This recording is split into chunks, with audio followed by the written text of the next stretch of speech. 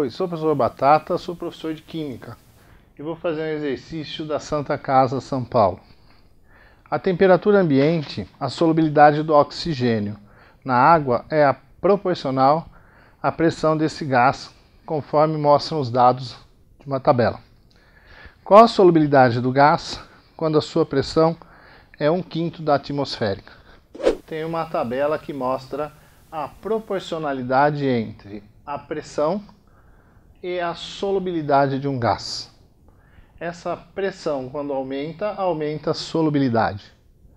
Para eu fazer esse exercício, ele pede quanto que será a solubilidade em uma pressão 1 quinto de ATM. 1 quinto de ATM, 0,2 ATM.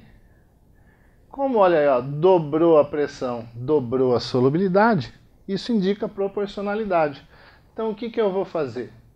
Em uma atmosfera, eu consigo dissolver 1,16 vezes 10 a menos 3 mol do gás por litro.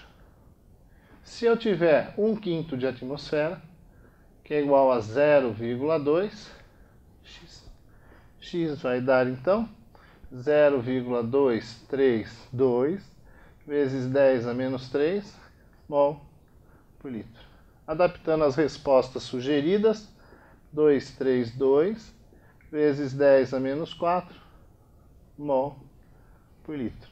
Isso corresponde à alternativa C. Por hoje é só.